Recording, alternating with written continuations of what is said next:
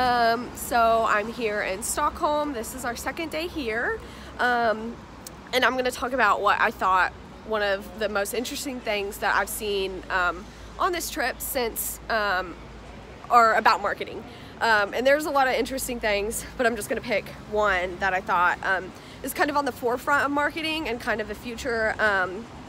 so whenever we went to the IKEA museum, there was a ton of stuff like the little um, IKEA catalog cover photo booth where you would take a picture in like a set up little um, studio and then it would print the picture and it would look like you were on the cover of IKEA. And um, then like with the hopes that, so that's all free and they would eventually want you to share that on social media and that was like kind of a form of marketing and it's super subtle and what it causes you to do is you are now telling other people about IKEA and the IKEA museum and talking about how much fun you had and then sharing that photo and people see that and hear your good experience and then they want to go to IKEA. So um, it's kind of just not a trick, but just a way to get people talking about your company where you're not talking about yourself directly through advertisements and stuff like that, but you have other people spreading the word.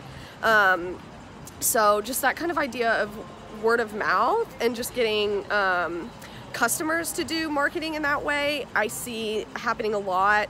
You can see it when companies put big murals in front of their businesses. They want you to take photos, they want you to tag their business. Um, and I think a lot of companies are starting to realize that they can use this as an asset because you know you pay for the mural once and then you have hundreds of people come to your location to shoot at it um, and take photos and then you get more customers from that even if they just came for the mural and not for your store.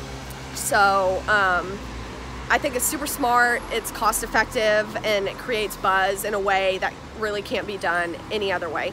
So I just really like the way IKEA did it. They had a lot of things like that in the museum that you would want to take photos of and share on social media.